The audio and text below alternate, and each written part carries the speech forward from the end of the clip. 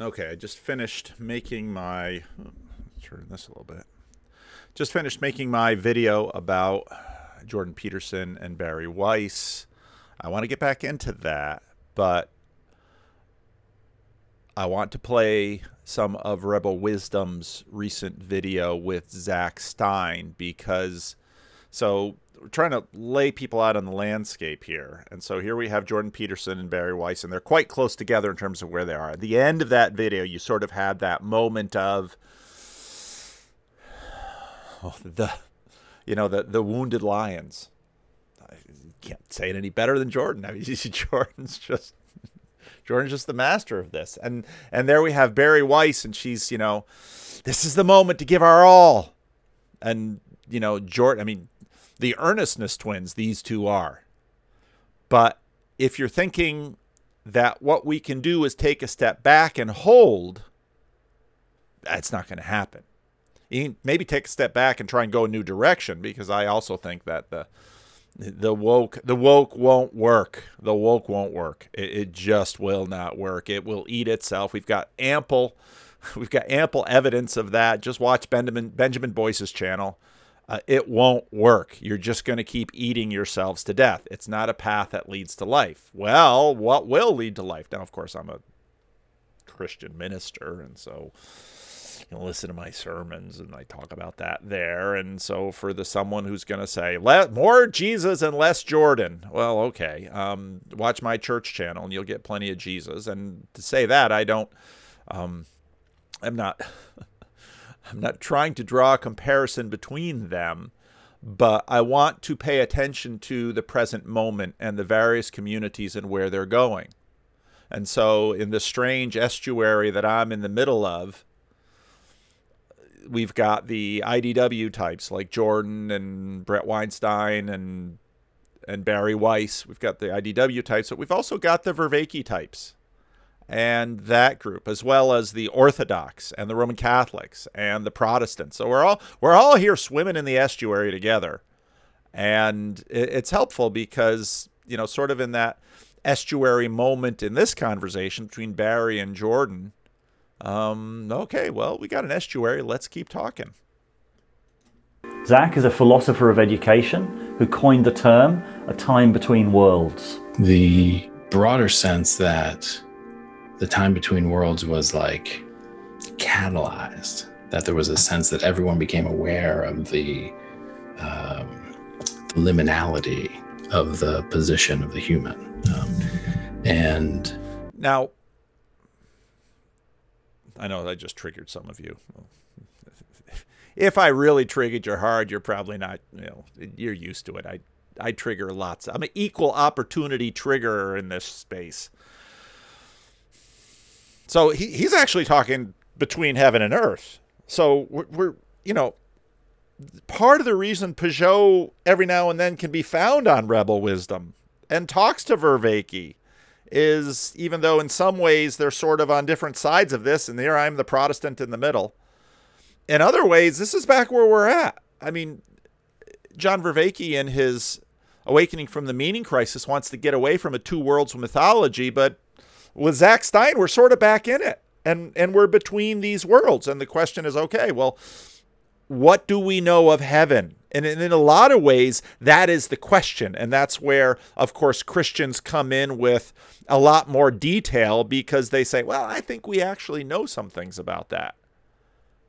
Instead of always trying to sort of project up from below. Because, of course, in in contemporary secularity, there's a real skepticism about what can be seen from below or what can be received from above. But, but you know, right away here, well, it's between worlds. So, you know, when after I'd listened to David Fuller and, and Jonathan Rowson, I listened to this and I thought, yeah, the first part of this video. Now, some of where it goes, not everybody's going to like, but the first part just pay attention because that's the point of the Bari Weiss Jordan Peterson. There's no sort of holding our present position or saying, no, one step back and that's far enough. Uh, there's no humanity keeps moving.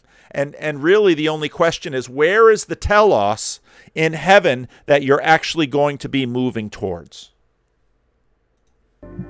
I think that uh, continues.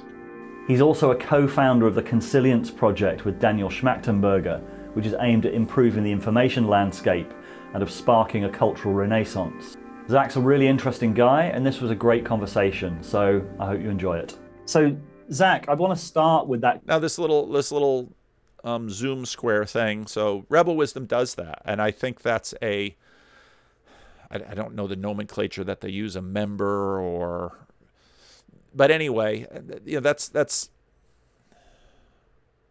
So when I listen to Bari Weiss and Jordan talking about I, I would I participated in one of these last week with them with Jonathan Rowson, and I don't know, you know, what David's going to do with the recording, but anyway, it's fine. But you know, I, I really congratulate David on doing this kind of thing because what Jordan and Bari are talking about in some ways David is doing. Now, you might not agree the heaven that David is sort of pointing to, but he's at least in some ways putting together a congregation you know, again, back to, well, maybe I'll play it again. Maybe this is going to be one of the videos I just play over and over and over and over again.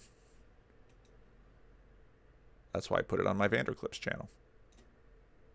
I wanted to start maybe with Tara's point about sort of the, you know, the durability of this kind of um, I'll conflate your two points and say the durability of immanent mm. individualist religion in American life, right? And the fact that you have plenty of, you know. Now, the UK is very much a part of this because, in some ways, America, you know, they went in different traditions, but seldom do, seldom do Americans go on a trippy um, tour of religion, and at least the the Brits didn't start it or follow along divination and God within spirituality going back to the 18th century. Um, it, it, seems to me that if you look at sort of the historical pattern in American life, you have sort of either surges of that kind of hmm. spirituality or particular religious geniuses who manifest it. And then the movements and institutions that they build have historically then been sort of pulled back towards a kind of normative Christian structure or framework to to use to use Steve's account, right? So you know to take to take the examples of the the two biggest 19th century examples maybe are Christian Science, which comes out of New Thought in certain ways, and Mormonism, which gets its start in the sort of in you know the kind of divination happy world of upstate New York in in the in the in the early 19th century. That that's you know I know for some people trigger wisdom tr- trigger wisdom. Rebel wisdom might trigger you a little bit but you might look at mormonism and say oh what a conservative religion. And they are. They sort of preserved you know when i talked about jordan and Bari sort of trying to preserve something mormonism tries to preserve something. I remember when i first visited their you know their complex in Salt Lake City and toured their museum, I thought this is the most American religion I can imagine. They really are.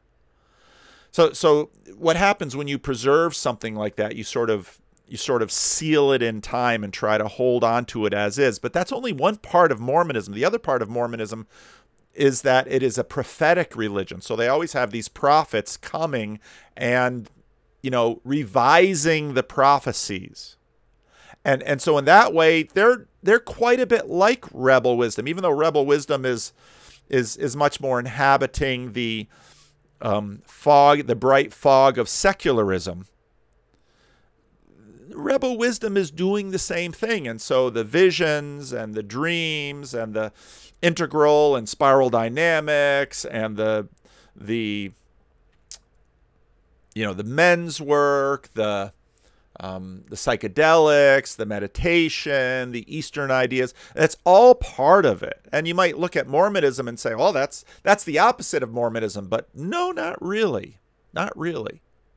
And both of those, you know, if you if you look at them from a sort of, you know, how Christian are they perspective at at at the outset, you can make a case that they're both pretty stark departures, maybe not getting all the way to something we call paganism or post Christianity, but clearly really stark departures. Um, you know.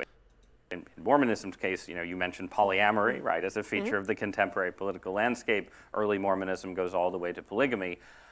And then, over the course of the next hundred years, you get to a point where, by the time of the 1950s and 1960s, both Christian Science and the Church of Jesus Christ of Latter day Saints, while they're still regarded as heretical or dangerous or cultic by some other Christian denominations, are, I think, reasonably seen as connected to a kind of, you know, a, a kind of Christian tradition in Okay.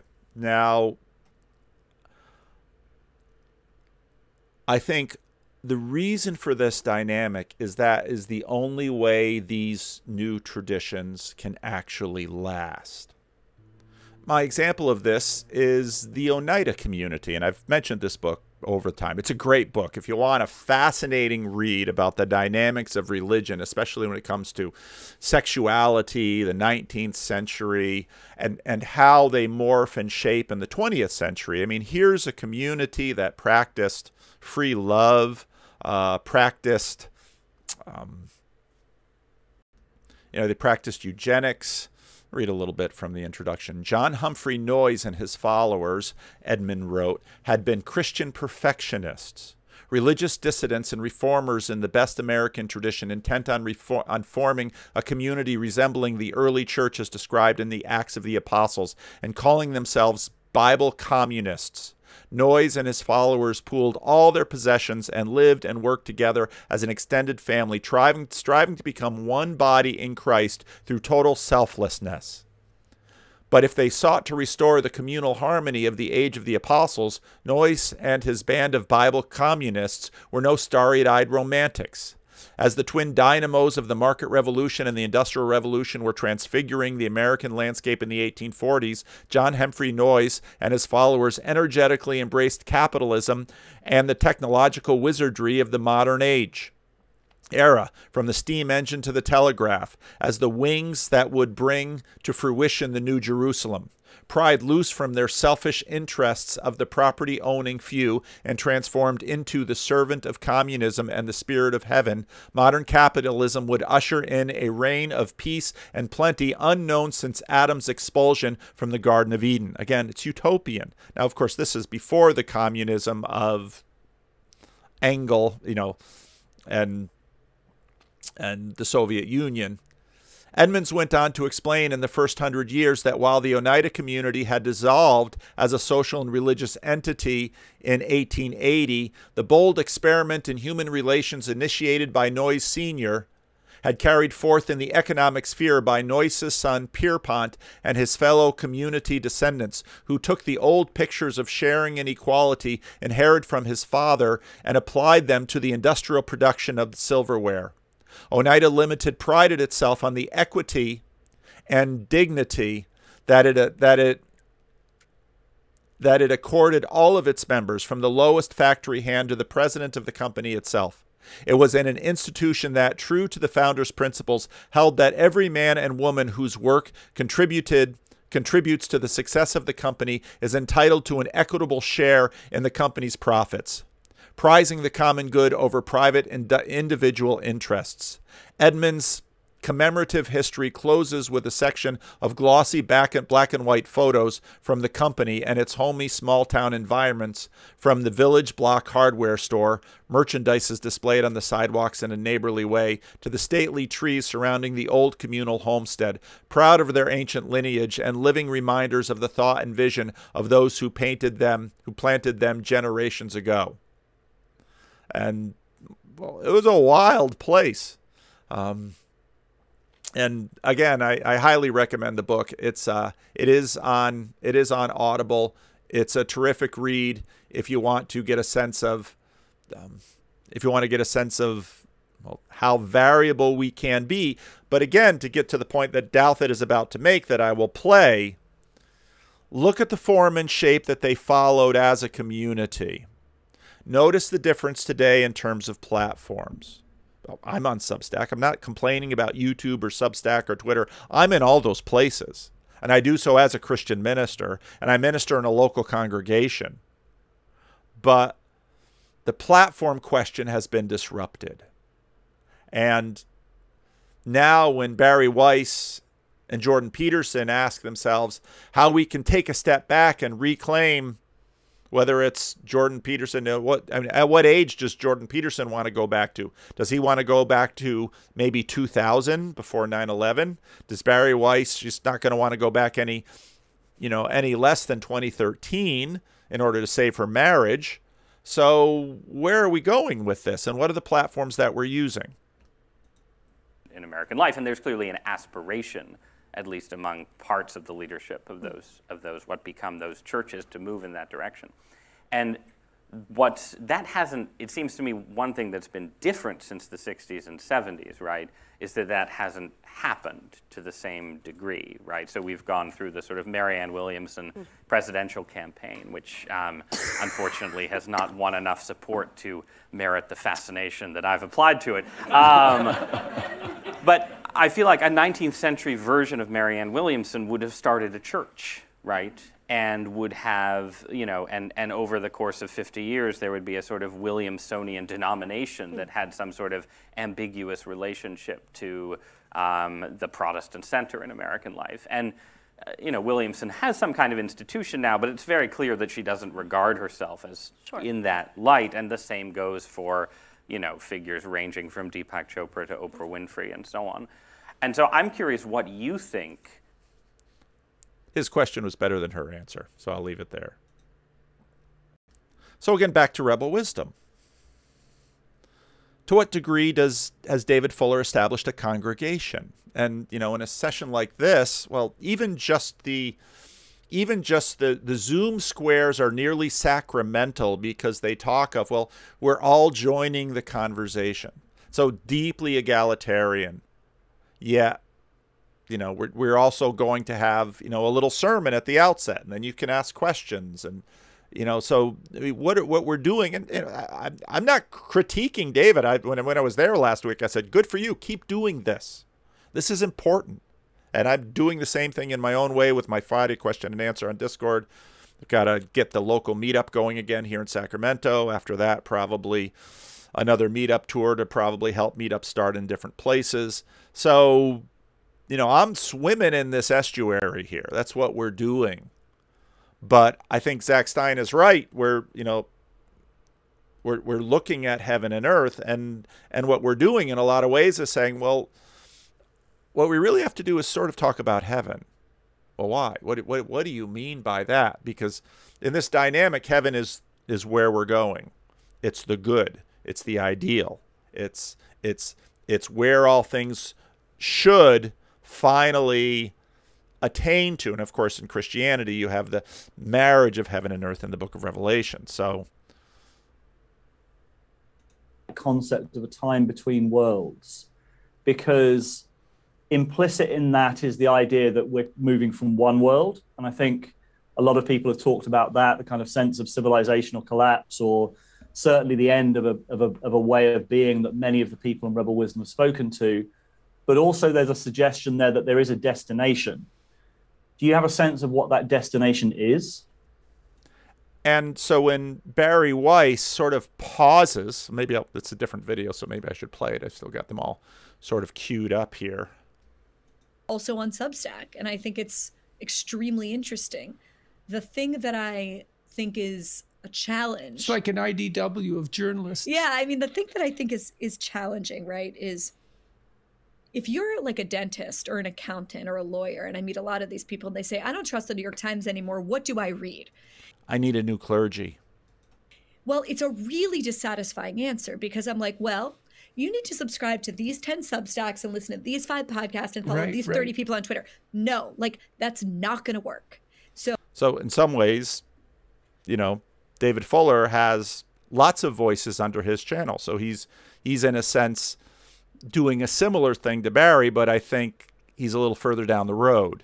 But he's also coming out of journalism. Remember, he, he's you know one commenter.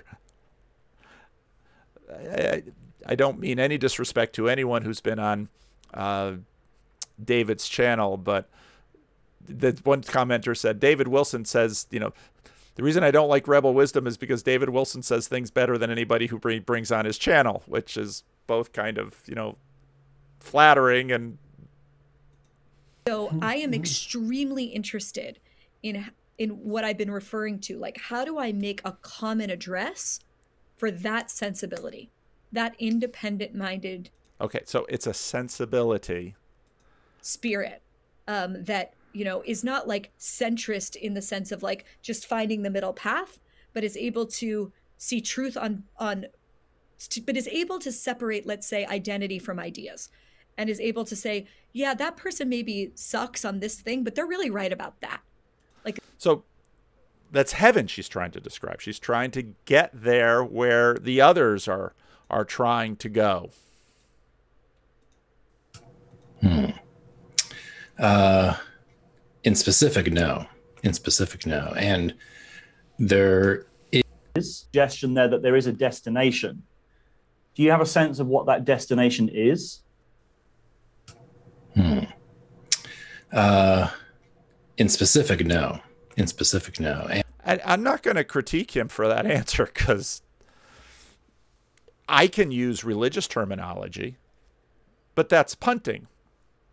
You want me to get specific? And I, again, I'll, I'll give you religious terminology, and a bunch of you will hear it as religious terminology, and it'll it'll put you off. And then I'll tell stories, and then I'll give images, and then I'll give illustrations, and that will help you a little bit more. And but within this congregation he's got here, there's already a fair amount of commonality which has gathered them because you sort of get gathered. You can't put the words on it, but you sort of know it when you see it, and so it draws you. And or maybe it's not this but that. and there is in when you're in the position of being you know between worlds uh which you say is and that's both. I gotta get my. I'm dyslexic, so I can never get the. If I put it in front of my face, it'll be on the camera. There's between worlds this way, but there's also sort of between worlds this way. And so Jordan, um, Jordan and Bari are, you know, okay, we're gonna stop. We're gonna stop history at this point. I don't know. I I, I don't.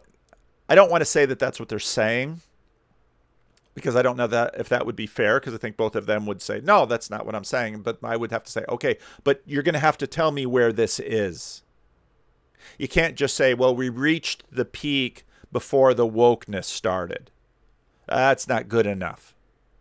Poetic but it's actually basically a sociological construct that i took from immanuel wallerstein. It's a very specific techno-economic position. We're between the basic structures of institutions. And uh, so in a sense that we're in that uh, kind of hard fork or catastrophic bifurcation of a complex dynamical system situation where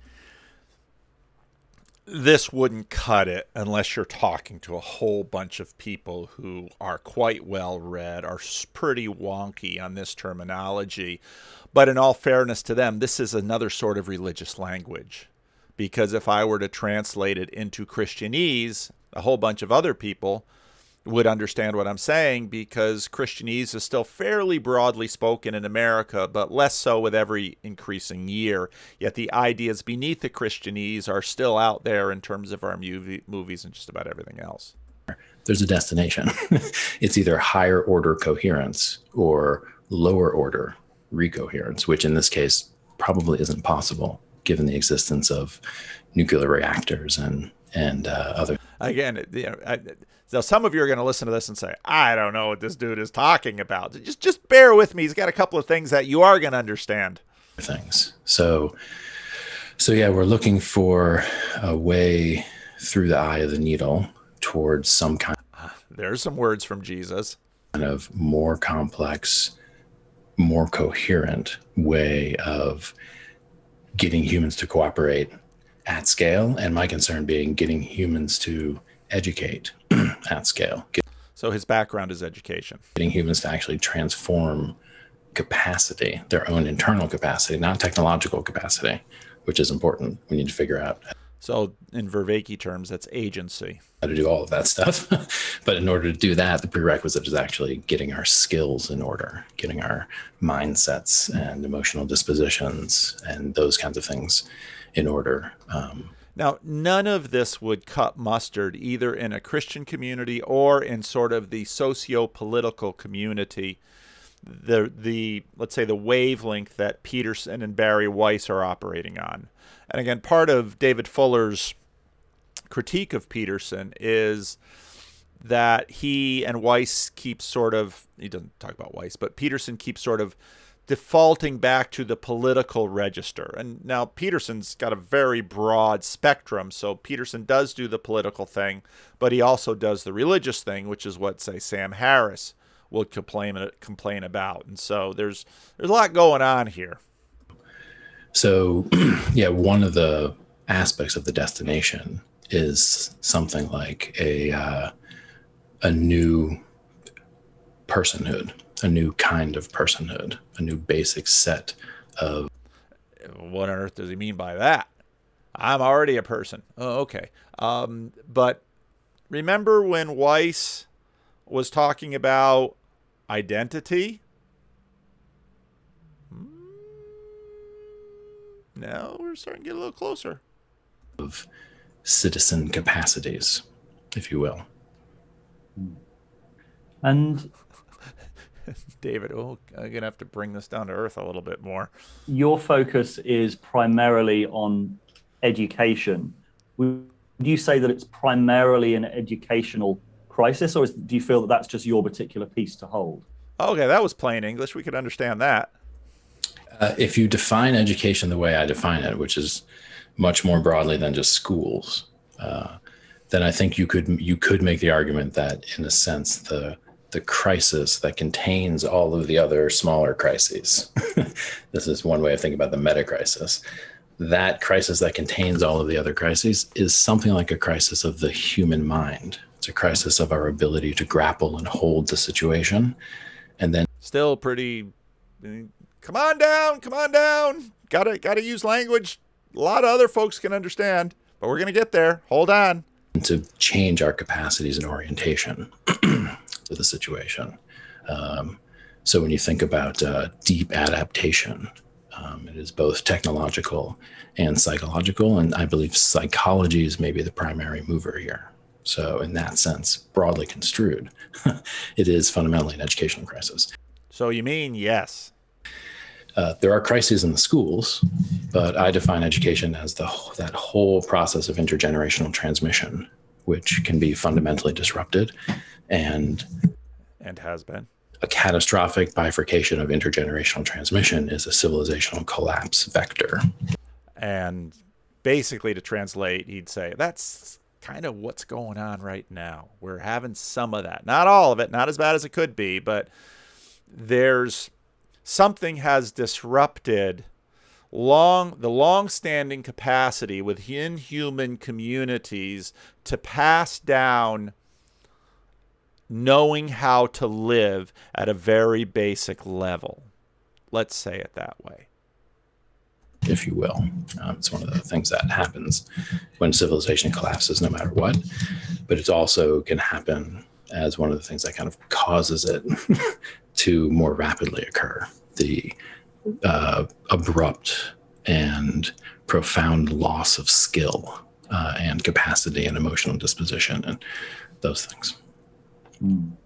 And David Fuller, okay, let's pull him back down again. You've, I've heard you describe it as a loss of teacherly authority. Does that is that the core? Ah, David knows words that people know. Loss of teacherly authority. Hmm. More of it, would you say? Uh, teacherly authority. Does that is that the core of it? Would you say? Uh, it, it's one way to think about the core of it. It's one of the things that is essential to amend as part of any resolution. Um, the the kind of uh, the uh, the diagnostic, if you will, does it, it, expands beyond just the collapse of teacherly authority. That is something that characterizes our situation. But we're looking at a, a multi institutional educational crisis, essentially. Um, and this is where we get back to the why the Jordan Peterson Bari Weiss conversation because it's multi institutional. You'll hear Jordan Peterson. The real crisis, well, let's see, how can I say it? Jordan Peterson saw this crisis in his own shop. Let's say it that way. And and at the heart of Peterson's cry, his religious cry, that that you see in the Bari Weiss Jordan Peterson conversation is the loss of the academy to facilitate at least its share of teacherly authority and what Zach Stein, Zach Stein was saying with all of those fancy words. And uh, so, yeah, the collapse of teacherly authority, which is to say the absence of those contexts in which um, you can exercise that holistic intergenerational transmission, right? Um, that is a key node. So it's good that you identified that. Yeah. Uh, so in, in some sense, that is the core of it. And how did we get here? How did we get here? That's the broader question, right? Yeah. If the problem, I mean, the collapse of teacherly authority, I think, is a. When I first heard you say that, it made a lot of sense and it was a really helpful frame. Um, but I just wonder if we could unpack that a little bit.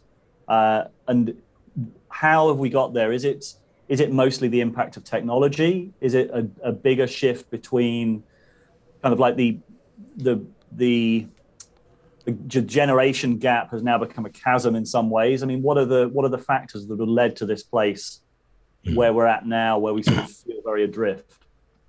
Yeah, it's it's definitely multi multifactorial. You know, um, if you like Marshall McLuhan, then you look at something like the basic paradigmatic shifts in communications technologies from print to electric to digital. at each one of those, you had major educational. And again, print to mass electric to individual personal digital crises, major educational crises. Now, in each one of those, up to the digital, which is the one we're in, uh, you had um, educational crises in contexts where you didn't have existential technology, which is to say, technology that can destroy the whole planet and all the humans on it.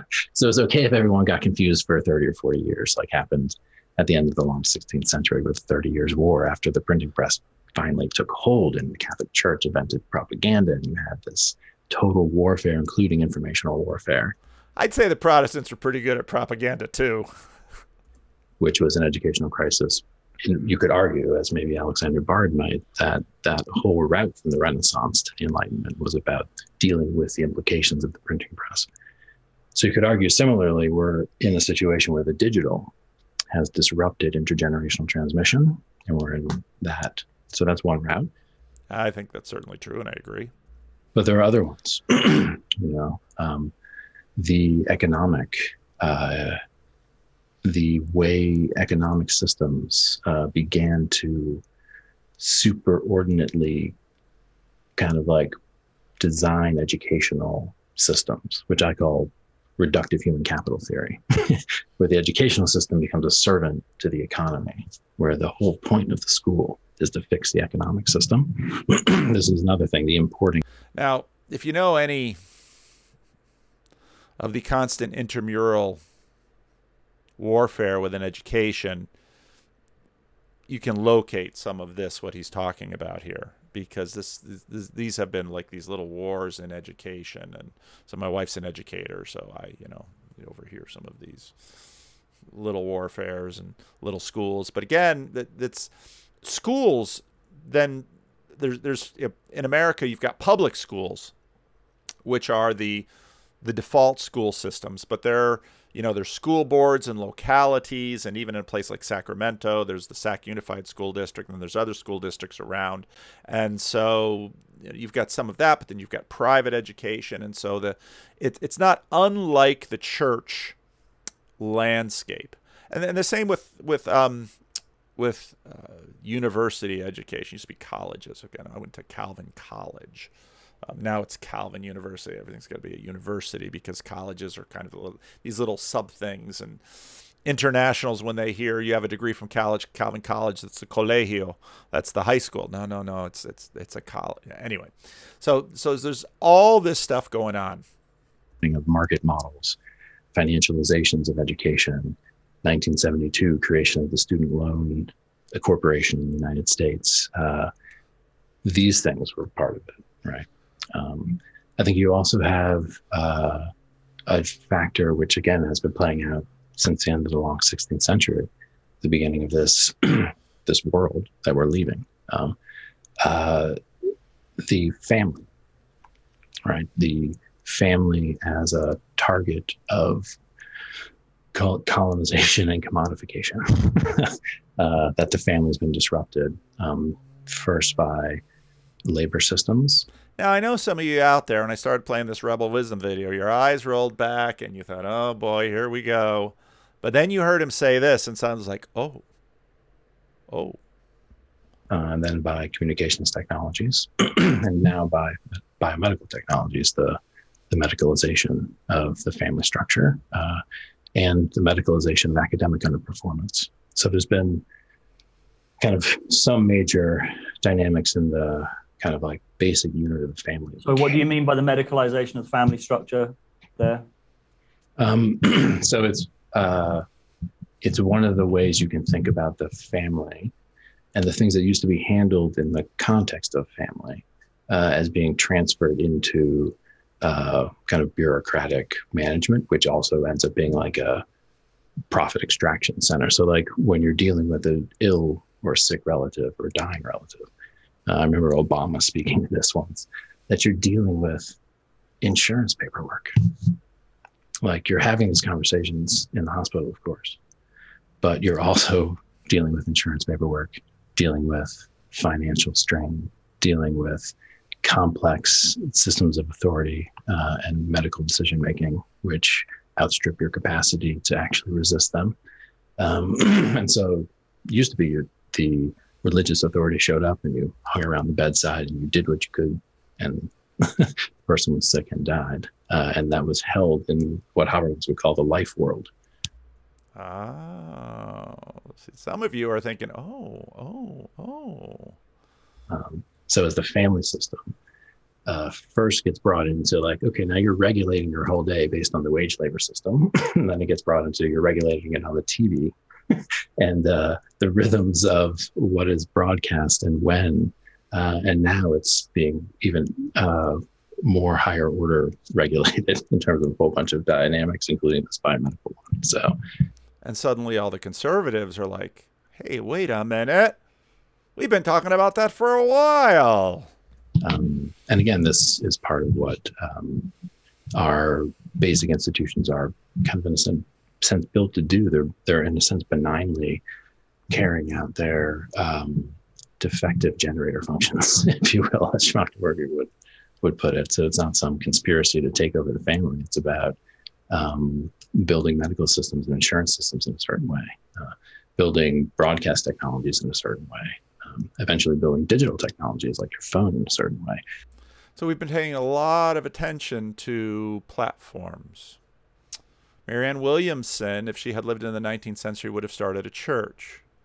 Billy Graham didn't start a church. There's no Grahamism around, although we maybe could use that term. Billy Graham and the neo evangelicals in the middle of the 20th century in North America modulated what was the the fundamentalist movement and took off some of the the sharper edges of it and popularized it and you know, again, Jordan Peterson in the first wave was a pretty potent, um, was a pretty potent movement, but nothing like Billy Graham. Billy Graham's was far more long lasting. Billy Graham's, Jordan Peterson could fill the Sacramento Theater, you know, 2,500, 3,000 people, you know, maybe even one in Dublin to 10,000 people for a major talk with, with um, Douglas Murray and Sam Harris but Billy Graham filled Yankee Stadium. Billy Graham changed him and had a whole network of churches between him and called them down and but he didn't really start a church, but he didn't turn his way from the church. Christianity Today was sort of the masthead, Fuller Seminary. So you can see more, uh, you know, left the 19th century into the 20th century, and you can see the platforms changing. But now, these platforms that Zach Stein are talking about, you know, I have members of my church that could remember when they were children, when their grandpa died, you laid him out in the house. Now and then the, the next iteration after that was the funeral home. Well, what what what what what is what is so homish about a funeral? Well, you call it a funeral home because you used to lay out grandpa in the house. And this one member of the church, he's no longer alive himself now, but he said, you know, he his grandpa was laying downstairs and he was a little boy and he didn't want to go downstairs because there's there's dead grandpa laying in the hallway in the front hall where people would come in and you know have calling hours. Well, what on earth is calling hours in funeral homes? Funeral homes, calling hours. These are all vestiges of what was still happening in the early part of the 20th century. And you know, now Zach Stein is, is pointing to all of these changes, all of these changes that have happened. And well, there's there's another thing that I want to get to. I don't remember in detail everything he's about to say now. Maybe I'll play a little bit more of it. Where the screen now runs interference between family conversation in a pretty systematic way, um, and then what you're reading on the screen uh, is imported uh, into family conversation to disrupt uh, what used to be community um, and uh, care. So, so that's a little that's a little bit. Of, so it's multi-institutional, generational crisis. Um, then you get things like post postmodern critical theory, uh, the kind of turn towards complexity science, uh, and a whole bunch of other factors that also made teacherly authority, in particular, very, very, very vexed. And that's ah, now you're seeing the connections, aren't you? Part of the breakdown of the schools contributed to that because many teachers have teacherly authority by virtue of having bureaucratic authority, whereas legitimate teacherly authority is held by virtue of having actual epistemic asymmetry. epistemic asymmetry. What? E- epistemic asymmetry? They know more than you. But not just bureaucratic. They, now we get back to Jordan Peterson, they live it out. They practice it. They know how to act in the world. How to act in the world in order to what? In order to move up Jacob's ladder and get closer to heaven. To move up, they know how to have success in life, to do better. That makes sense. and so, to the degree that the schools cease to work, people become critical of the idea of teacherly authority because they mostly encounter it in a bureaucratized context. Uh, and then you get the media like the New York Times or Fox or whatever, which is also supposed to be holding some teacherly authority, they obviously become problematic. so you, so everyone's looking around where who is the person I can trust with the future of my mind? Where can I look for guidance, especially from elders, about the ways of the world, both what is legitimate in terms of authority, both what makes sense in terms of the world, uh, and what's meaning making and the meaning crisis is also in part of the cascade of the underlying educational crisis. Uh, so yeah, so the absence of teacherly authority thrown into the mix of that technological disruption of um, family and et cetera puts us in a pretty dicey spot, um, uh, which is not a spot of total like incapacitation, but a, a spot of very diverse and stratified capacity and educational opportunity. So we're having people who are smarter than people have ever been. like now you're going to have to ask, what do you mean by smart? Now again, what you mean by smart actually that this gets into, you know, what I want to get into in the Jordan Peterson Bari Weiss conversation, which is underneath that conversation is both Jordan and Barry have a an assumption of a world. They have an assumption of the location of heaven with a degree of specificity and saying we reliably could do it, do it on the side. We reliably could make our way to heaven via the New York Times. It had authority. And what both of them lament with the loss of the lions and the tigers is that those authorities are gone. And what do we do? Teacherly authority is disrupted and we no longer have it. Like crazy, ridiculously exposed to unprecedented material. Um, kids even talking with NASA scientists in the spaceship and stuff. Like I didn't do that when I was a kid. Uh, but is very quick. Kids talk to scientists, and I didn't do that when I was a kid. Well, but does that mean anything? So, so again, if you, you know, of course, for Jordan Peterson, the the crisis of the academy was critical, and well, maybe I should jump into the jump into the other conversation. Maybe a little more of this. Uh, saturated with disinformation, with no access to anything like a healthy epistemic commons or. Okay, now saturated with disinformation. So I am a person who sits in the middle of so much of this stuff, and so thanks to you because, you know, you've uh, you've made me quite a bit more aware of conservatism than I had been before. So thank you. And some of you will feel quite proud and happy about that. So there you go. Have I been red pilled? You can decide. But I listen to both sides. Oh, they they don't they don't know what they're talking about because they only read and then it's the New York Times or it's Fox News.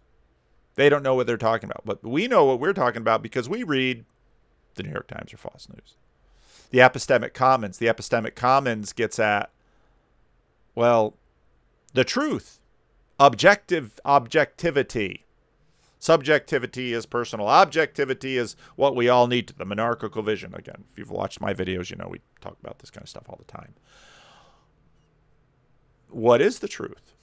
Well, it isn't just that, you know, lots of people who read Fox, you who watch Fox News, and lots of people who read the New York Times, they actually have a lot in common in terms of a lot of things. But which truth, the relevant truth? How how how can we know? Good faith argumentation, even when they're in the bureaucracies like schools that are supposed to attend to them uh, in that manner. Yeah. I'd love to, in a second, come to sort of solutions. I know you're involved with the Consilience project, so that's one that's one project that's operating in this space. But before before that, you wrote this uh, essay. I think I just checked it out. Is at the end of March last year, so in the kind of early throes of COVID, called "A War Broke Out in Heaven." And wow, that's a good title.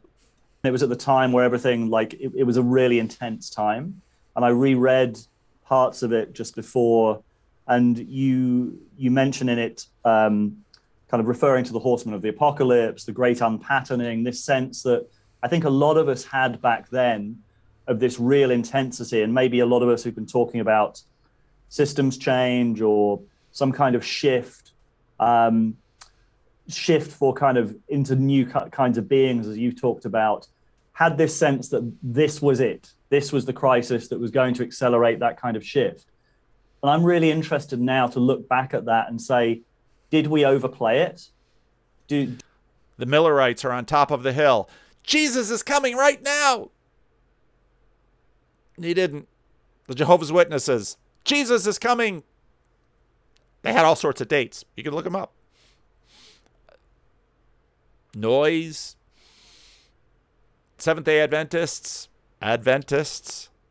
I, the language has changed, but this basic pattern, pattern, pattern, pattern, pattern, pattern, pattern.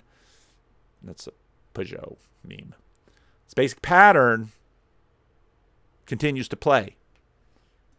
Do you think that, do you look back at that essay and does it still stand up, or do you think that we maybe got caught up in some of this kind of intensity of the moment back then? We're all liable. It's an interesting question. I actually haven't looked at that essay uh, in a while. Um, uh, Does Hal Lindsey really go back and think about 1980 countdown to Armageddon? It's interesting that there's a sense that the crisis is over, or at least that there's a sense that we want the crisis to be over, um, and that there's a turning uh, in the larger narratives towards articulating a sense that the crisis is over um, I think my argument was that we're at the be where it's the end of the beginning, uh, and that we're in a cascading set of compounding crises. Um, so the broader sense that the time between worlds was like catalyzed, that there was a sense that everyone became aware of the, um, the liminality of the position of the human. Um, and and in that in some ways bari Weiss is well she's aware now and she's like let's go back. 2013 that was the peak. And I think that uh, continues. So I'll, I'll, be curious to see like I I think the question is in a sense premature like uh, you know I suggested that because of what occurred uh, there was an opening in the imaginal uh, which occurs when you're between worlds. When when you're solidly in a world, basically your imagination kind of works. Like your your models you throw out are predictive, and you know the the things you say to others are understood, and that like the world is working. When the when you're between worlds. Uh, then actually you're forced to expand the imagination. So when this thing first hit in March, there was a sense of um, what would happen. It wasn't clear what the paths that would emerge were. And so there was a time of totally wide open imagination, both towards the good and the bad, like the terrible and the amazing. So that whole thing opened up. It's very apocalyptic. Up for a lot of people at the same time. And that's so that's the notion of the time between worlds. And the notion of the war in heaven is what takes place in people's imaginations. Everyone's not just us, all at all stratas of society. All the highest power players are also like, whoa, opportunity. uh, now remember, bari Weiss wants to find. We need to. We've got all these little substacks out. We need to. We need to coalesce. Well, that's that happens in heaven. You know, you point up. You pay attention to it. I can't help myself. Got to jump into this video. But then like when I listen to you or JP Marceau or someone else, you talk about this idea of emanation, right? So I want to I want to look at an example, right? Because well, see, I do this and I didn't tell you what I'm going to do. It drives my wife crazy when I do this stuff. So here's heaven. Well, it, it's all about pointing to heaven. How can how what what is? I mean, that's where that's where that's where David Fuller started. Is that well, maybe you can tell us what heaven is one of the things that that so the, the problem is going to be easier to see emanation at a human scale because it's it has to do with intelligence now again if you go back to the Pageau Vervaeke conversations th- these two are always talking about emergence which is bottom up and emanation which is top down and again in, in the secular society we have for a variety of reasons deep skepticism about emanation we have a degree of confidence in emergence, and I think there are psychological uh, reasons for that, but I won't go there right now. It's going to be harder to see it at a biological, like low level. It's there, but it's harder to see. It's easier to see at a human level. Like, so if you deal with human phenomena, uh, okay, so let's say I I uh, I found a, a, a city I talked about this on my channel recently. It's like I'm Constantine mm-hmm. and I'm the king, I'm the emperor. And then I found a city. And so I come and I do a sacred ritual. I will take a lance and I will like walk behind an angel to like mark the limit of the city. And and and so so I actually give it a name. I found it, I give it a name.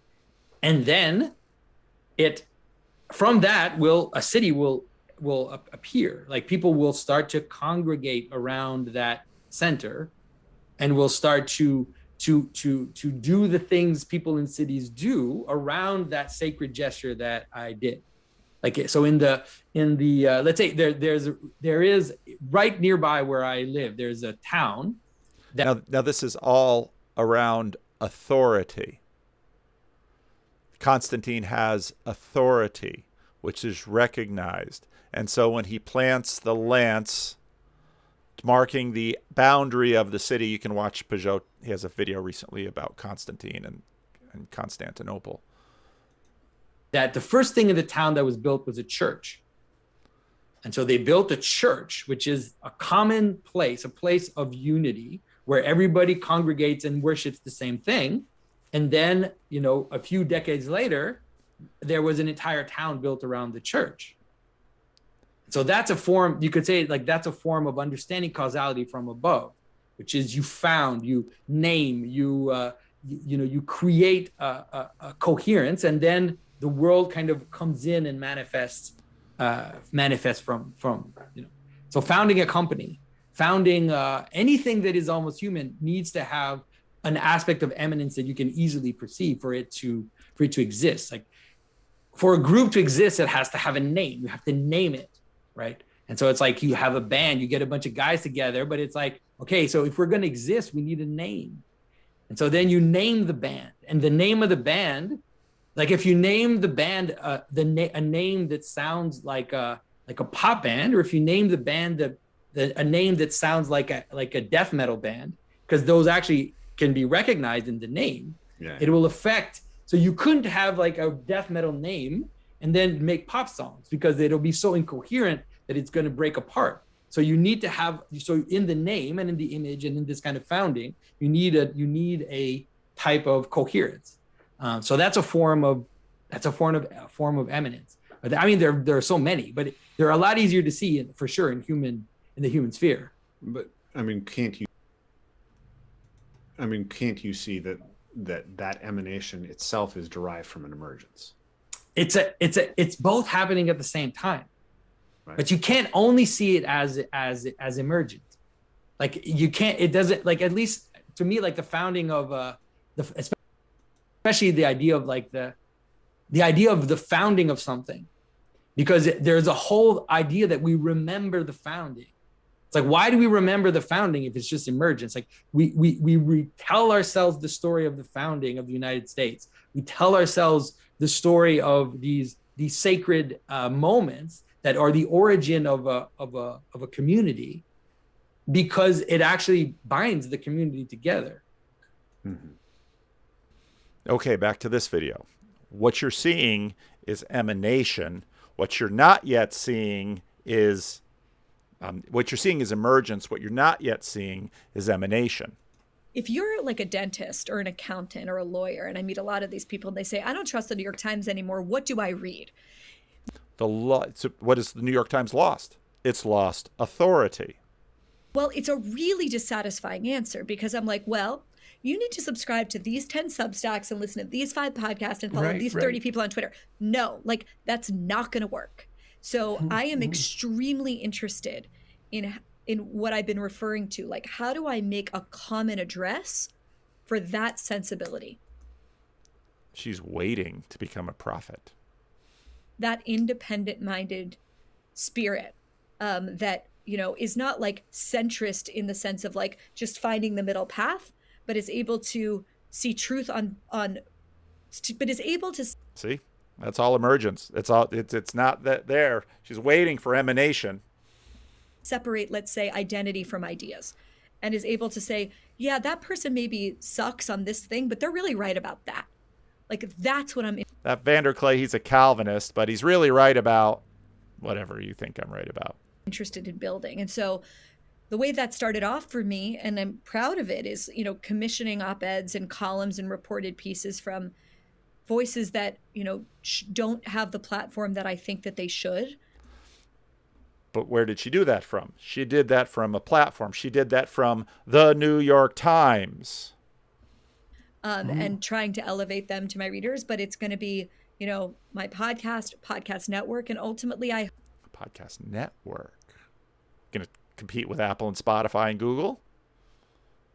See, now suddenly the platforms matter. If you follow Bret Weinstein on Twitter, I mean, he's been, you know, he's been making a lot of noise because um, YouTube took down, I don't remember the name of the drug, begins with an I if I say it, maybe YouTube will take down this video too. But he's making make a lot of noise about a drug that was.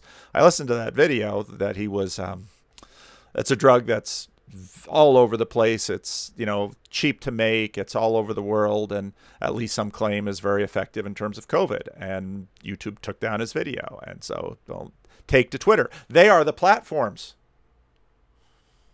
So now sort of back to Zach Stein and say, hey, wait a minute, all of these platforms have sort of snuck up on us and we're between worlds. We're between worlds this way because we, we need to we need that emanation. We need the name. We've got plenty of emergence but emergence without emanation is just sort of flopping around on the dock. It doesn't have direction. It doesn't it's not incorporated.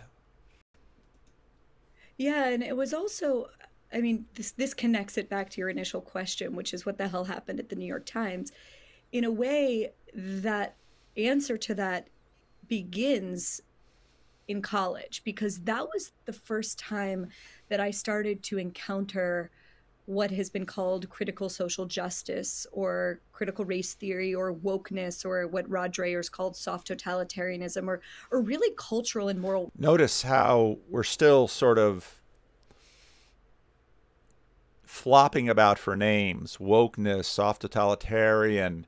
Um, I mean, I, I I called it progressive liberationism when I first started dealing with this in my church life and began listening to certain I mean because again I had been a reliable I mean the left of the Christian Reformed Church is not very left in terms of the national spectrum but I had very much been a part of the left of the Christian Reformed Church and I began listening very carefully to others and say hey wait a minute things are changing and I don't have names for it. And what am I watching? And there's a lot of lot of emergence bubbling up. Relativism, to put it more simply. Um, now, relativism, if you'd use that word, you sort of went back to culture warrior. Um, you went back to 1980s culture war fights. I remember very, very clearly getting into an argument with another friend, also identified as a feminist, and she was justifying female genital mutilation to me because that's other people's culture and we need to respect it. Okay. Now, you can that that example is a really nice one because you can see things sort of come all the way full circle with respect to this and this is part of the reason that i never really said eh, it's not really cultural relativism because we, we sort of see that and, and can understand that but i want to talk about data and narrative and icons. Okay. Data is combinatorial explosion. The world is too big. We can't manage it all. How do we manage it all? We manage it, we organize it via narrative. Okay. We organize it via narrative. And those narratives then, it's how it selects what we can take in because it fits the narrative. And the things that don't really fit, we sort of put over to the side and they'll sit there for a while. And if not, if the pile doesn't get too big, it sort of decays and goes away. But if this is Kuhn and his paradigm shifts, if the pile does get too big, then suddenly we look at our narrative and say, oh, well, the narrative might need to change a little bit because the pile's getting too big. And so then we can incorporate more things and our narrative adjusts, or maybe we take somebody else's narrative. And, and that's sort of how narrative and data work together. You know, not only does not only do we get a first draft from our parents, first draft narratives, and we use those to see the world. Again, all the Jordan Peterson, Sam Harris conversations were all about this a priori structure that we knew we need in order to filter to bring in the world so that it's accessible to us. So we have a first draft from our parents. I'm just I'm just, you know, I'm I'm compressing a whole bunch of videos right now for you. But then we also see the world through those narratives. Now, I'm going to add a third ingredient to this called icons. Female genital mutilation became an icon in certain communities. It, it, be, it was even so if narratives are massive compression engines and filters and selective engines, which we need in order to manage this too big world, icons are even more compressed. They're like they're like diamonds in that they're very hard. And and so we use these icons to test narratives. So we use narratives to test data. We use icons to test narratives. And so when her friend, who is also a feminist, there's identity, said she believed in, you know, she wasn't going to be outraged by female genital mutilation. Well, now suddenly we're dealing at the icon level. And yes, no. Icons are very binary. Yes, no. Yes, no. Icon, if it's you agree with the icon or you don't agree with the icon, it's a watershed. Okay. And now the reason I use icon is that it's an image you see, in a sense, through to the narrative, and yet it's also a function of the narrative. And all these things go back and forth. Okay. And, and that's a very short summary into, I think, just a model of, of cognition that, that I'm thinking about as I watch all these videos. I mean, because this is all data. And then I put it into narrative, and then there are icons and, and, and icons are, of course, deeply religious because they see through to other worlds. And they see through, in that sense, to heaven.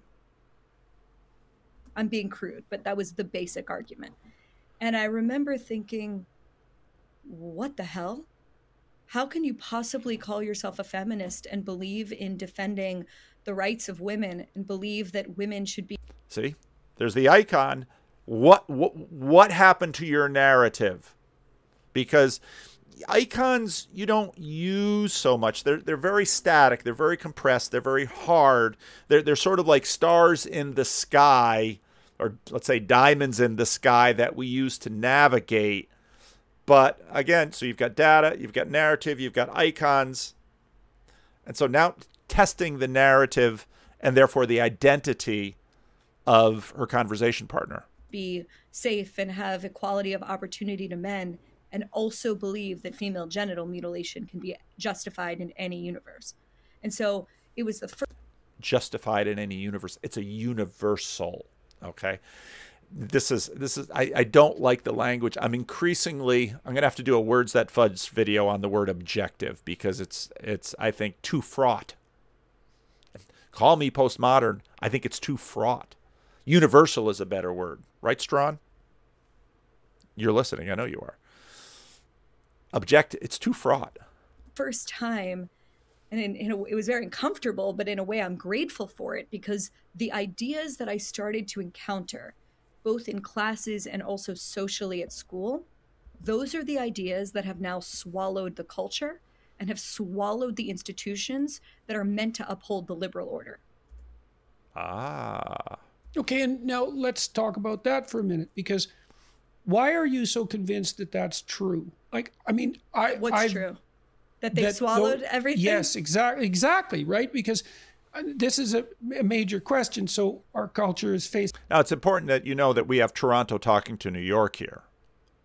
That's not an incidental aspect of this conversation. I don't know where Bari Weiss is. She's in New York or Los Angeles. Uh, she's not in Baton Rouge, Louisiana. She's not in Baton Rouge or, you know, someplace else in the middle of the United States. Facing this extreme division, or that's what it appears. And but the question is, is it as serious as it as as you might perceive it to be, or is that a consequence of the information sources that you're availing yourself of? And of course, this is exactly the same thing. Now you've got the epistemic crisis because now we're always aware of that. We're aware of our formation. This is part of the reason the secret sacred self, which is people imagine that, well, deep down inside of me, there's an identity that I'm always aspiring for. It's it's it's universal and it's fixed, but it's also always malleable and mutable applies to me. I mean, I saw this coming as far as I'm concerned, you know, well, 20 years ago, 25 years ago, but more particularly five years ago. And, you know, that's got me in all sorts of trouble. But it seems to me to be something real and something dangerous. And I'm trying to put my finger on exactly what it is and to warn people about it. But it's not like I don't have my doubts about, you know, whether this is just my conspiratorial idiosyncrasy making itself known in the world. And so, I don't think it's a conspiracy. I think the question is whether or not. Okay. What do we mean by conspiracy? That there's a group of people somewhere in a back dark room who are plotting this. No, it's it's emergent is what it is. The optimists are right and this thing is a moral panic and it will burn itself out. I am more on the optimistic thing, but I think we need to talk about it. Just like, you know, panic around satanic, you know, child interesting illustration. Watch Jonathan Pageau. Child molesters burned them that that burned out in the 1980s in this country and maybe in Canada too. I'm not sure. Yes, definitely. Well, we always do things a little less extremely, but we follow along in your wake. Right. So the question we appreciate our um, we appreciate your humble, faithful service. It is like, are those people right? you know, will wokeness, I hate that word, but I don't know what else to call it. Will it recede on its own like a fever? I hate that word. It's emergent, but I don't know what else to call it. That burns itself out? Or will it only sort of, um, let's say, lose the battle over the culture and over sense making and over the elite institutions in America and more broadly in the West if it meets another force that pushes against it? I don't see it receding on its own. And the more I look inside, you know, certainly the press, I have a front row seat to witness that, and we can talk about it. Now, part of her anxiety is the assumption that these institutions, like the New York Times, that are increasingly losing educational authority. Now, don't get me wrong. I've said many times that, I mean, oh, YouTube is going to replace television. No, it isn't. And don't forget, YouTube is built on Google. And as much as I know Bret Weinstein might love to get onto BitChute or Odysee or um, ThinkSpot or some other platform, nothing's nothing on the horizon challenges YouTube right now. There's no question about it. Same with Twitter. Oh, we're going to start a new Twitter. Uh, Clubhouse is coming up. Yada yada yada. So hard to know. Let's Ed, talk about it. So but, what? But education, science, uh, big tech, the HR departments of major corporations in this country, like it's touching everything. Yeah, it is. It's emergent. And yeah, I well, I got a notification from my university department today they developed a contract for undergraduates who are going to work in labs, which seems to me to be completely unnecessary, anyways, because that was something that was always handled by individual professors. But most of it's just, you know, care of data and, and the sorts of things that you might expect that might be made explicit if you were going to work in a lab. But of course, two thirds of the way in it, there's a huge statement about all the groups that you're not allowed to um, be prejudiced against in your conduct. And, and so we had this whole problem in psychology that they're only getting data from certain groups. This policy might ensure that that distortion of the psychological data continues because you can't notice anything that might be problematic about a particular group. Yeah, smart. No, so and and fair enough. I mean, as my in my place in the Christian Reformed Church where we deal with some of this, I'm fairly buffered and and so forth. And so it's just another example of how these ideas, these let's call them anti-racist ideas for the time being, or anti-group prejudice ideas, are there. There's an insistence that they manifest themselves everywhere. And you might say, well, you know, who isn't anti-racist, and so why object to that? And my sense is that, well, they don't come they're not part they're not they don't stand on their own. They're part of an entire system of ideas. That's the thing that that, that it's always bothered me is that there's a whole system of ideas here. And and and this system of ideas infiltrated the blue church. And I think it was Pageau with Rafe Kelley, and I think he's right. In a lot of ways, the new atheists there's some responsibility for this. I want to get to the part of this video that I'm thinking about, though.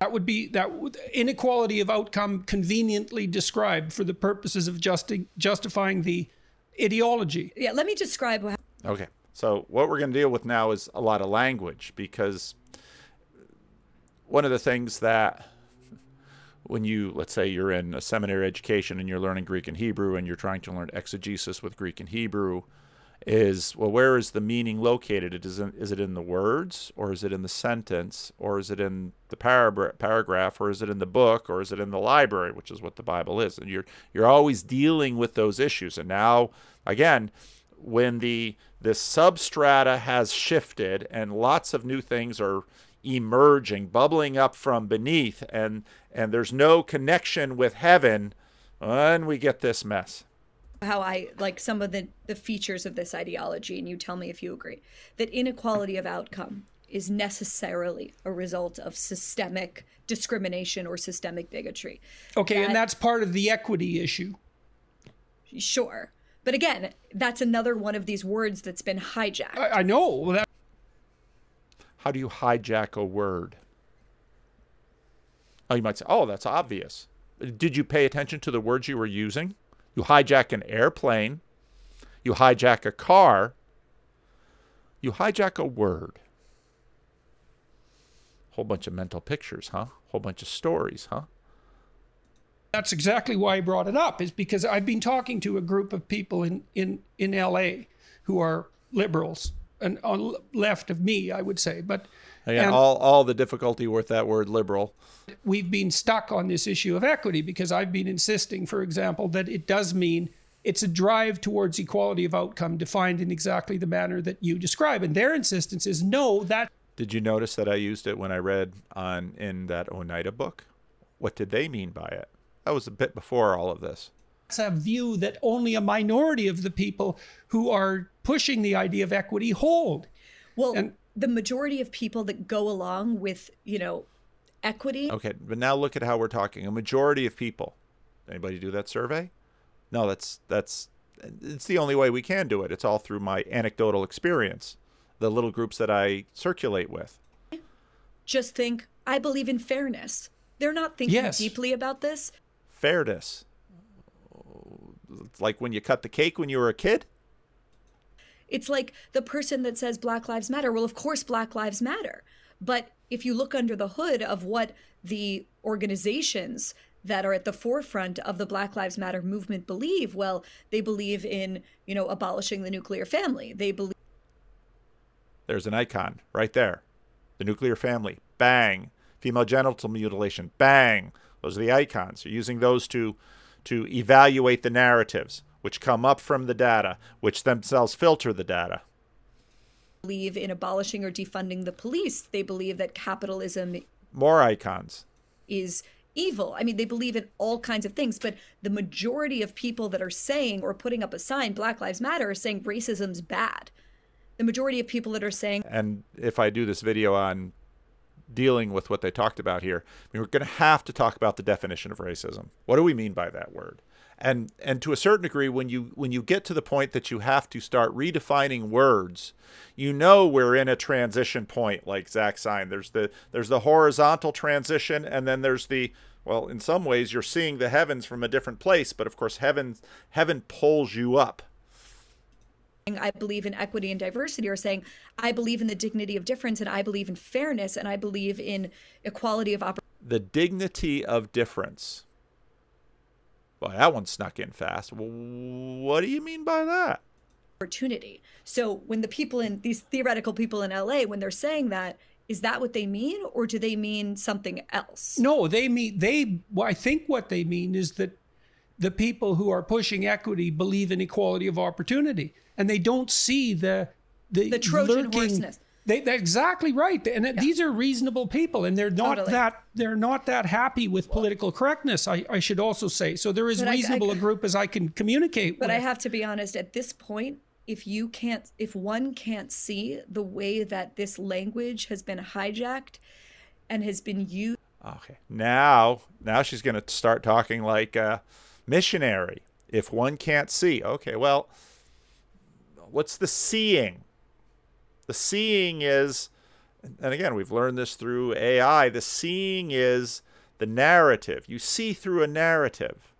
So if, if one doesn't have that narrative in mind, you get your icons, you get your narrative, and you get your world, you get your data. If one can't see, hmm, we're we're we're we're we're drawing lines here. You can communicate. but with. I have to be honest, at this point, I have to be honest. It's all these little religious tells we use. if you can't if one can't see At this point, they're not that happy with political correctness. I, I should also say so. They're as But I- I- reasonable a group as I can communicate. But with. I have to be honest, at this point, if you can't, if one can't see the way that this language has been hijacked and has been used as a kind of Trojan horse, brilliant, I should say, Trojan horse strategy to smuggle in um, a sort of what exactly are we smuggling? Jesus? No, it's not Jesus. Now, also pay attention again. If you looked at the looked at the previous, it was only a half hour. Sorry for the little video. I just, you know, happens sometimes. Notice she almost never looks directly at the camera here. That only comes at. Oh, I haven't checked the whole thing, but because once I saw it at the end, it was like, oh, oh, she's very aware of her audience. She's making her appeal. This is the altar call. She's she's still talking to Jordan at this point hardened identity, uh, you know, zero sum identity politics view of the world to smuggle in a view of the world in which we either have collective guilt or collective innocence. There's there's another element of this. And and again, it's emergence and we're we're starting to name it. I mean, that's that whole process that we've been at for the last few years is naming these elements because they've emerged up and said, hey, wait a minute, this is Douglas Murray does the same. This collective guilt and collective innocence and I, again, me as a reformed minister says, well, I know all about this. We've been talking about this for a long, long time. Literally based on the circumstances of our birth. Literally based on the circumstances of our birth. I, I don't know how many of it be, you know, how many circumstances are you talking about? That smuggle in a, you know, deeply anti capitalist position, that smuggle in essentially you know, a leftist illiberalism, then I'm sorry, you have blinders on. I, I the evidence for this is so overwhelming at this point. Speaking as a religious person. I'm really not sure how like if you if you okay, don't want so if, if you don't want to believe it, I think it's because the discomfort of believing it outweighs so now you're psychologizing your your social political adversary pathologizing them? Oh now you're now you're uh, now you're a capitalistophobe you're a capitalistophobe or you're a you're a now you're you're afraid you know that's that's part of our bag of tricks. I use it too. Then the, let me let me say that again. Yeah. i think it's because the, she's looking for words. There's emergence here. She's looking for emanation. That admitting that that's true and that that's what's happening is extremely psychologically scary. What's remarkable here is that this argument has, I've even seen this argument used how many times in how many places. We call them homophobes and transphobes.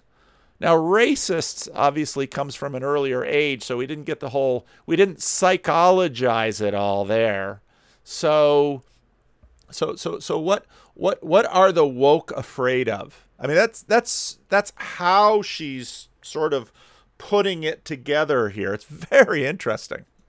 And it's extremely socially scary if you are a liberal because all of a sudden it means that these institutions and the uh, so so now almost this phobia sort of switches here.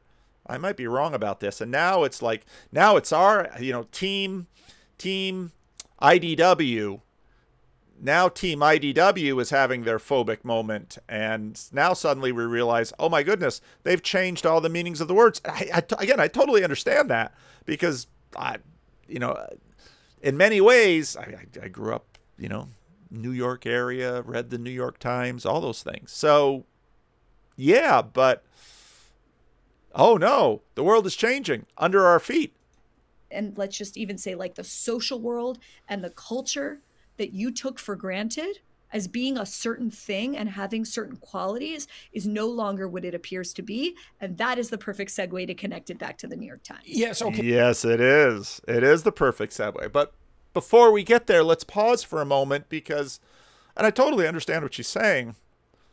I've told this story before.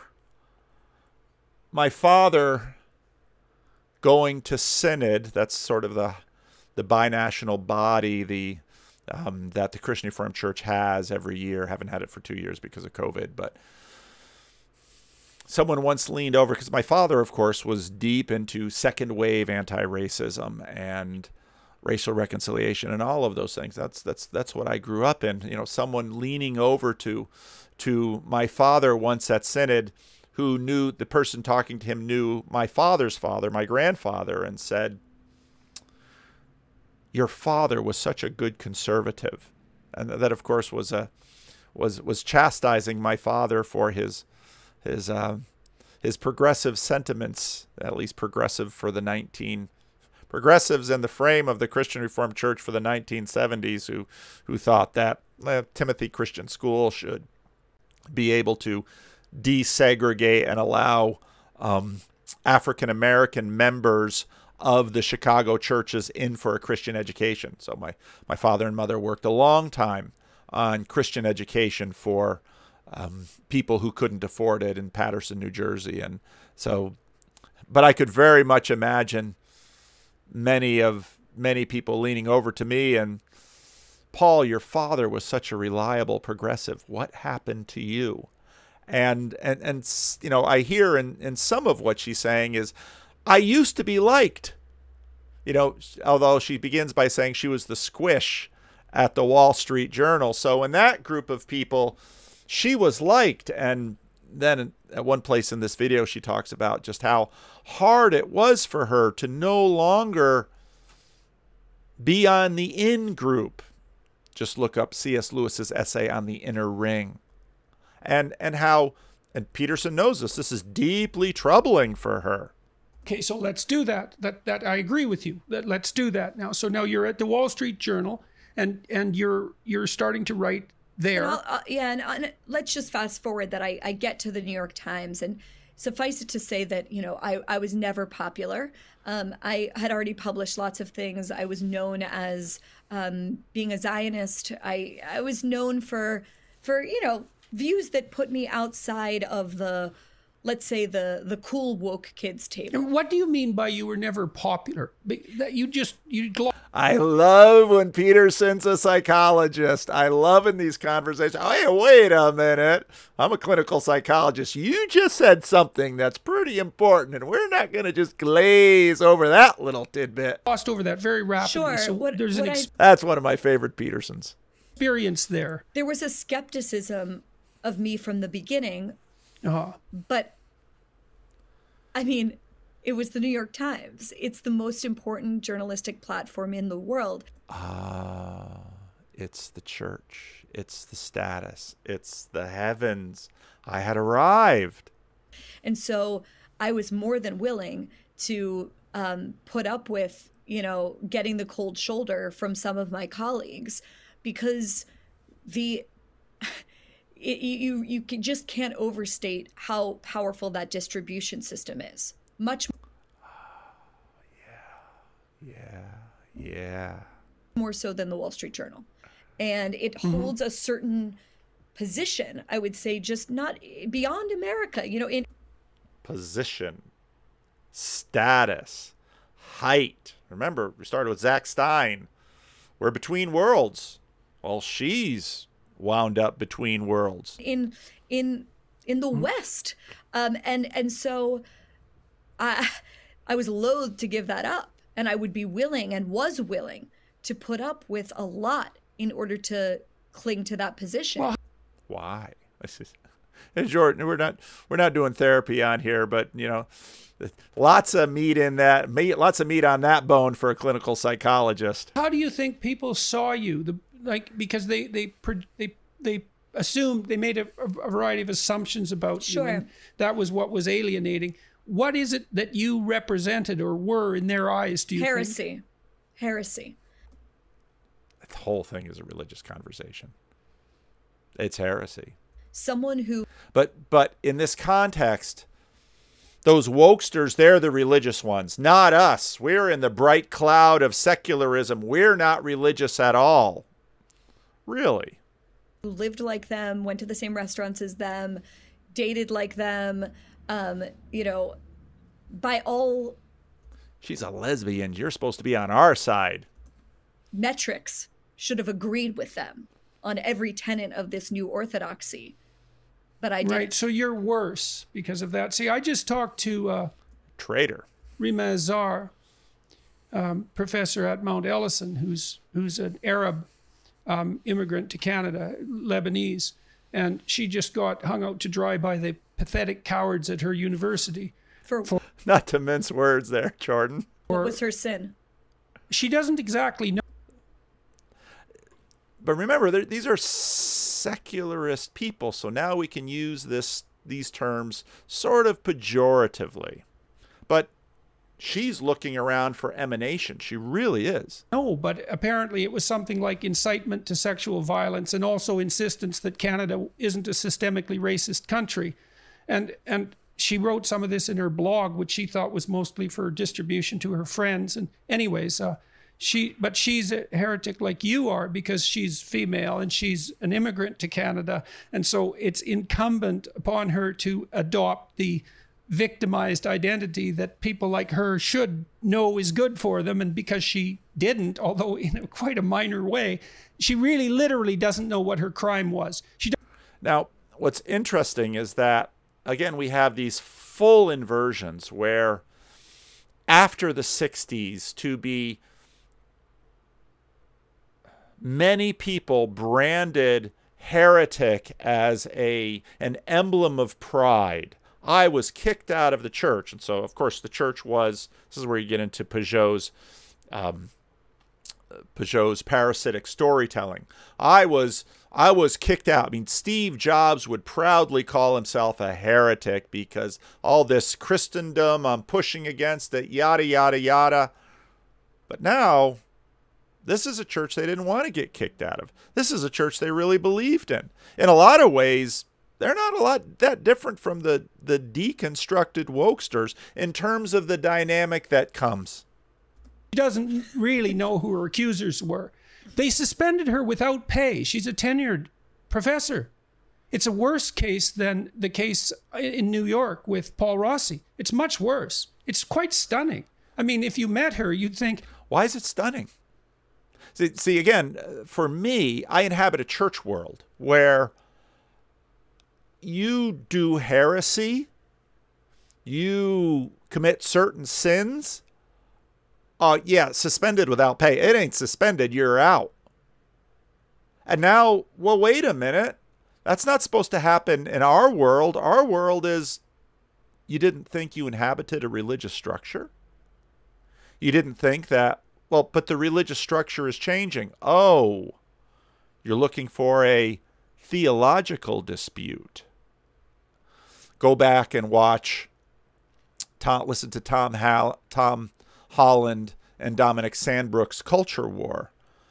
Tom Holland's definition of a culture war is a war which is fundamentally theological in Christendom.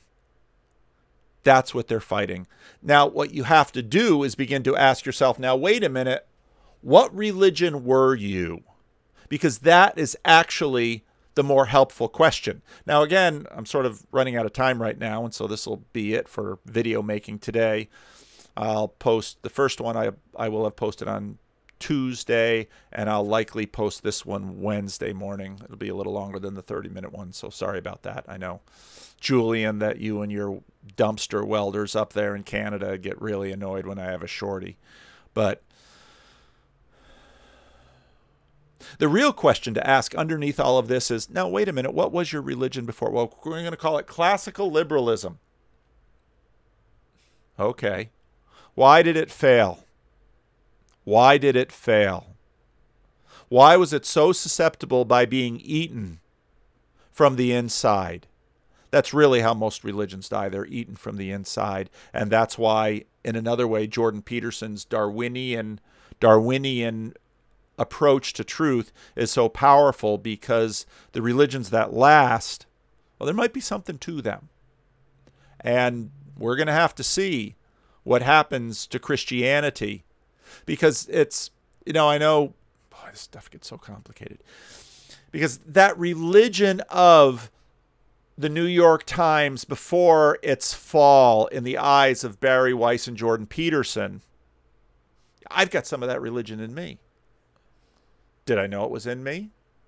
How, to what degree was it sort of wheat and tares, Jesus parable, just sort of all interlocked in me? And so now with this with this struggle, well, now in a sense I get to pull it apart and take a look at it and say, hmm, maybe I need to critique that. Well, against what can I critique it? Well, heaven. Heaven. And, and what's happening in our culture actually is that the fundamentalist and the rebel wisdom group are are almost on the same page. There's a little bit more of that video I want to play for you. Remember, we were talking about educational authority. I'm going to ask Danny Mulhern if you would like to unmute yourself and ask your first question. Thanks, David. Hi, Zach. Thanks very much for this. Um, yeah, my question is if you had a nine year old preparing. Um, All of the fancy words here comes down to action, right? For secondary education at this time, what kind of schooling would you be considering? Uh, it would depend on so many factors. It would depend on where you live.